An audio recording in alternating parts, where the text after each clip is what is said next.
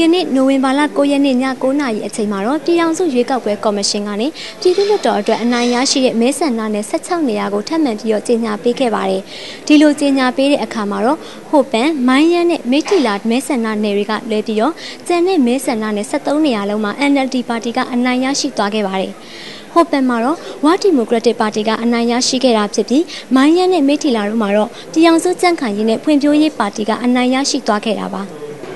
ဦးကျင်ဝမ်ဝါဒီမိုကရက်တစ်ပါတီ6039မဲရှမ်းပြည်နယ်မိုင်ယန်မြို့နယ်ဦးဆိုင်ဆန်ပြည်တော်စုကြက်ခိုင်တဲ့ကွန်ပြေးပါတီ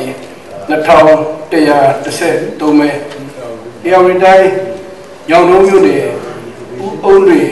မြို့သားဒီမိုစီဖွဲ့ချုပ်အခုလိုကြေညာပေးခဲ့တဲ့အခါမှာတော့ပဲခူးတိုင်းဒေသကြီးအတွင်းကရွှေတောင်မဲဆန္ဒနဲ့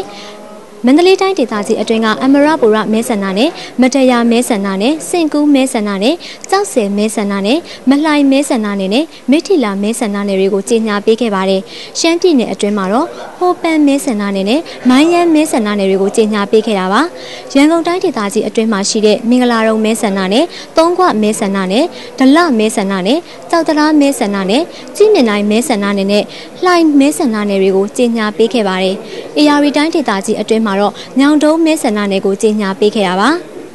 လက်ရှိအချိန်ထိပြည်အောင်စုရွေးကောက်ပွဲကော်မရှင်ကနေတရားဝင်ကြေညာပေးခဲ့တဲ့ပြည်သူ့လွှတ်တော်မဲဆန္ဒနယ်က28နေရာရှိနေပါပြီ။ဒီလိုမျိုးကြေညာပေးပြီးရဲ့အချိန်အထိ25နေရာမှာ NLD ပါတီကအနိုင်ရရှိထားတာဖြစ်ပါတယ်။တိုင်းဒေသကြီးနဲ့ပြည်နယ်လွှတ်တော်အတွက်ကတော့စုစုပေါင်းမဲဆန္ဒနယ်24နေရာကိုကြေညာပေးခဲ့ရမှာ NLD ပါတီက23နေရာအနိုင်ရရှိထားပါတယ်။ကျွန်မကတော့11 Web TV ကသတင်းတောက် Harry မော်ပါ။